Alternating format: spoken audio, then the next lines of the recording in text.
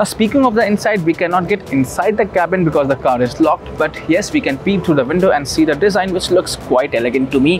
Now the interior is finished in black and brown and love the design. We have seen this in modern day Skoda cars. You see the same design here and modern features as well. Like you have this 12 inch touchscreen infotainment system should come with wireless Apple CarPlay and Android Auto. You have dual zone climate control system right here. On the center console, we can see electric parking brake as well, auto dimming IRVM and flat bottom steering wheel as well, the new Skoda steering wheel. Now speaking of the seats, looks quite well bolstered, good side support you can see from here and these are ventilated seats, powered seats as well. So in terms of features, it is quite up there. Speaking of more features, you have a premium sound system and towards the rear, you have these rear sun blinds on the windows as well which you can peep through and see the hook right there